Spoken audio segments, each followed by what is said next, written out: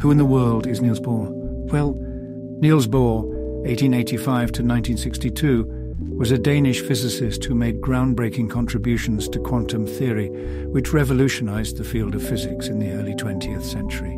Bohr is best known for his Bohr model of the atom, which provided an unprecedented insight into the structure of matter. He was awarded the Nobel Prize in Physics in 1922 for his work on the structure of the atom. Bohr was a pioneer in his field, and his work had an immense impact on modern physics. His research helped to shape the development of quantum mechanics and our understanding of atomic structure. His insights into the structure of the atom led to the development of the nuclear age and the development of nuclear weapons.